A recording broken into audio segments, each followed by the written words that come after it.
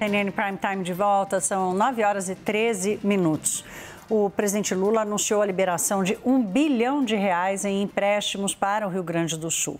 O valor será concedido pelo BNDES para incentivar a recuperação da economia nas cidades afetadas pelas fortes chuvas em razão do ciclone extratropical. Até o momento, 48 pessoas morreram no sul do país. 47 das mortes foram no Rio Grande do Sul e uma em Santa Catarina. Vamos agora ao vivo com a repórter Isadora Aires, que está falando direto de Porto Alegre. Isadora, boa noite, minha cara, que bom ter você aqui. Conta pra gente como é que está a situação aí. A gente sabe que tem alerta de mais chuva, de muita chuva para vir e tem uma preocupação muito grande de como é que isso vai atingir as cidades que já foram castigadas até agora. Boa noite. É isso mesmo, Thaís. Boa noite para você, boa noite para todo mundo que está nos assistindo. O último balanço da Defesa Civil, que saiu agora às seis da tarde, atualizou o número de desaparecidos. São nove pessoas desaparecidas aqui no estado. Além das 47 mortas que você comentou, ainda, ainda tem 925 pessoas feridas e mais de 4 mil pessoas desabrigadas. Além disso, mais de 20 mil pessoas estão desalojadas nos 98 municípios municípios que foram atingidos pela chuva aqui no Rio Grande do Sul. E o estado, como você falou, permanece com essa previsão de tempestade para a maioria do território. E a forte chuva preocupa, né, porque ela pode acabar gerando, então, ventos intensos de até 100 km por hora, queda de granizo, queda de energia elétrica, estragos em plantações, quedas de árvores e alagamentos. Só para a gente ter uma noção, a média de chuva em setembro é de 100, 140 milímetros. Porém, em 10 dias já choveu 300 milímetros, ou seja, mais que o dobro da chuva que era esperada para todo mês. Além disso, outro ciclone extratropical está previsto para amanhã para atingir Santa Catarina e também o Rio Grande do Sul.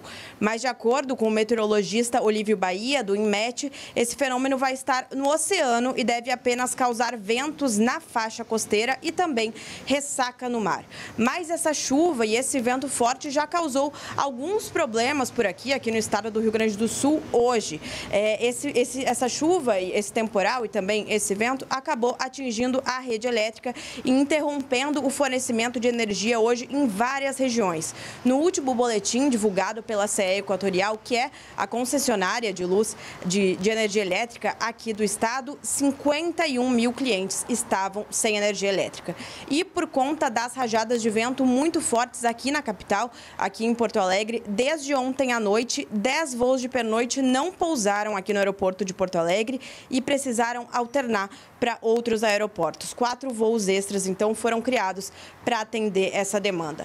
Agora à noite, o governo federal fez um anúncio né, de repasses aqui para o Estado e a minha colega Thaisa Medeiros acompanhou tudo em Brasília e vai nos trazer mais informações. Boa noite, Thaisa.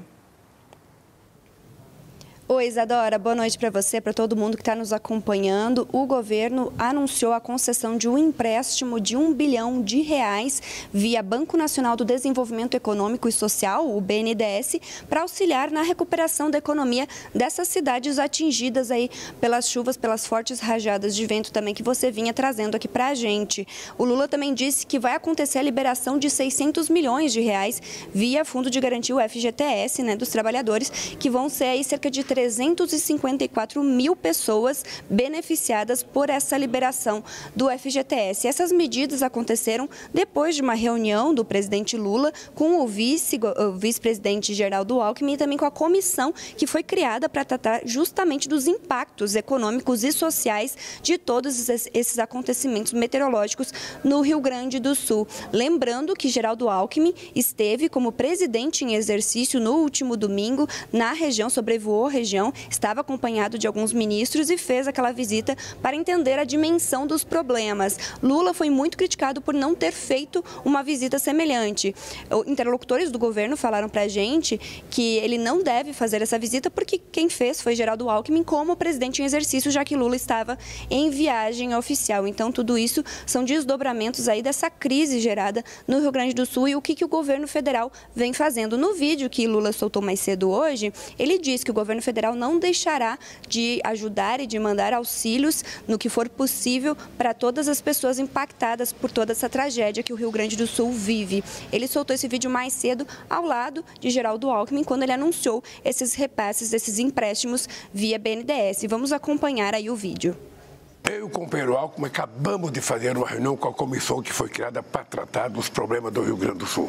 Além dos 740 milhões anunciados por ele no último domingo, nós tomamos uma decisão agora de fazer uma concessão de empréstimo do BNDES de um bilhão de reais para ajudar a recuperar a economia de todas as cidades e, ao mesmo tempo, a liberação de 600 milhões do Fundo de Garantia para atender 354 mil trabalhadores que têm fundo de garantia. Thaís Arbeck de volta aqui conosco. Você repercutiu esse anúncio com o governador do estado, Eduardo Leite. Como é que ele recebeu? Thaís, o que, que me disse o governador Eduardo Leite? Ele disse que é um anúncio importante para a, recupera para a recuperação econômica das regiões mais afetadas e que ainda não temos detalhes das condições em que essas operações de crédito se darão. Mas, diz Eduardo Leite, confio que virão com condições facilitadas para que pequenos, médios e grandes empresários se reanimem e recuperem suas atividades. Continua o governador. Essa iniciativa se soma aos recursos que anunciamos pelo nosso Banco do Estado na semana passada, também de um bilhão, e as medidas que anunciamos hoje para as empresas da região. É isso, Thaís. Obrigada, Thaís.